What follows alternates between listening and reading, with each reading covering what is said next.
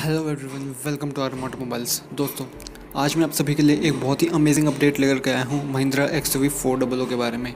महिंद्रा अपनी X V four double O को जल्द ही भारत में लॉन्च करने जा रही है। आज मैं आपको Mahindra X V four double O के बारे में बहुत ही एक अमेजिंग अपडेट के बारे में बताने वाला हूँ। दोस्तों, पिछले दिनों मैंने एक वीडियो बनाया था, जिसमें मैंने महिंद्रा की आने वाली टॉप फाइव एस के बारे में बताया था।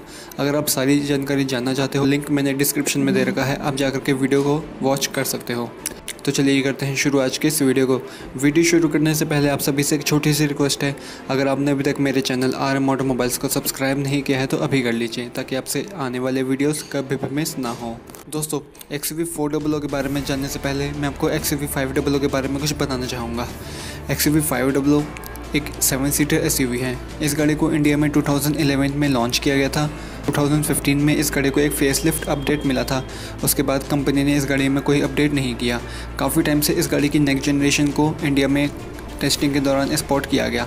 और एंड में आकर के कंपनी ने एक टीजर जारी कर दिया, जिसमें कंपनी ने बताया कि एक्स वी फाइव डबल के प्रोडक्शन को हमेशा के लिए बंद करके उसकी जगह एक्स वी सेवन डबल को लॉन्च करेगी। लेकिन ऐसा नहीं है। Company X V five double के प्रोडक्शन को बंद नहीं कर रही है, बल्कि बल्कि company X V five double के फाइव सीटर वर्जन को इंडिया में लॉन्च करेगी, जिसे एक्स वी फोर डबल के नाम से कॉम्पैक्ट एस सेगमेंट में लॉन्च किया जाएगा, जिसमें आपको होंडे की क्रेटा किया की सेल्टोस टाटा की हैरियर और एम जी की हेक्टर जैसी फाइव सीटर कॉम्पैक्ट एस देखने को मिल जाती हैं। दोस्तों, अब आप कहेंगे कि महिंद्रा ने काफ़ी ज़्यादा कन्फ्यूज़न फैला रखी है। पहले कह रहे थे एक्स वी फाइव डब्लो के प्रोडक्शन को बंद कर देंगे बट अब कह रहे हैं कि एक्स वी फाइव डब्लो के प्रोडक्शन को बंद नहीं करके उसको ही फाइव सीटर वर्जन में लेकर के आया जाएगा और एक्स वी फोर डब्लो के नाम से कॉम्पैक्ट एस वी सेगमेंट में बेचा जाएगा। एक्चुअली महिंद्रा एक्स वी की पूरी पूरी एक सीरीज़ लेकर के आ रही है, जिसमें कई न्यू प्रोडक्ट्स को इंडियन मार्केट में लॉन्च किया जाएगा आने वाले टाइम में। पहली होगी के O V one double O को रिप्लेस करके उसकी जगह X U V one double O को लाया जाएगा। X V four double O को लाया जाएगा, जिसके बारे में मैं आपको बता रहा हूँ। X V seven double O को लाया जाएगा seven seater S U V segment में। इसके अलावा स्कॉर्पियो के नेक्स्ट जनरेशन पर महिंद्रा काम कर रही है और पाँचवीं होगी X U V nine double O को। जो अल्तुरस जी फोर को रिप्लेस करेगी। दोस्तों, महिंद्रा चाहती तो कॉम्पैक्ट एसयूवी सेगमेंट में महिंद्रा एक बहुत ही न्यू प्रोडक्ट को इंट्रोड्यूस कर सकती थी बट कंपनी ऐसा नहीं कर रही है।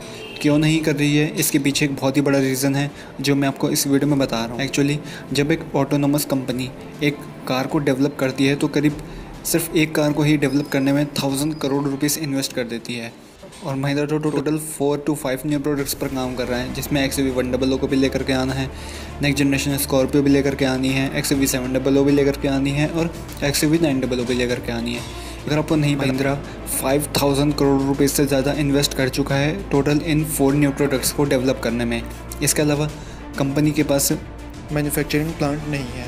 महिंद्रा के पास इंडिया में टोटल तीन प्लांट हैं, जिसमें दो प्लांट में कारों को मैन्युफैक्चर किया जाता है और थर्ड प्लांट में कमर्शियल व्हीकल्स यानी ट्रैक्टरों को मैन्युफैक्चर किया जाता है। दोस्तों, आज मैं आपको एक बात बताता हूँ। अगर आप महिंद्रा थार को अभी बुक करते हो तो आने वाले 12 या 15 महीनों बाद आपको महिंद्रा थार मिलेगी। महिंद्रा की थार की डिमांड इतनी ज़्यादा बढ़ चुकी है कि वेटिंग पीरियड एक एक साल तक बढ़ गया है। अब जब महिंद्रा अपनी थार की ही डिमांड को फुलफिल नहीं कर पा रही है तो अगर महिंद्रा स्कॉर्पियो की next generation X V seven को इंडिया में लॉन्च कर देती है तो फिर उसकी डिमांड को कहाँ तक फुलफिल कर पाएगी? इसलिए महिंद्रा अपनी न्यू कार्स के लॉन्चिंग को बार बार डिले करती ही जा रही है। तो यही है सबसे बड़ा रीज़न गाड़ियाँ लॉन्च ना करने का। आई होप आपको ये वीडियो पसंद आया होगा। वीडियो अच्छा लगा हो तो वीडियो को लाइक करना। चैनल को अगर आपने अभी तक सब्सक्राइब नहीं किया है तो अभी कर लीजिए ताकि आपसे आने वाले वीडियोस कभी भी मिस ना हो। और अगर आप मुझे फेसबुक पेज पे या इंस्टा पेज पे फॉलो करना चाहते हो तो लिंक मैंने डिस्क्रिप्शन में दे रखा है। आप जा करके मुझे फॉलो कर सकते हो। Thanks for watching okay take care bye bye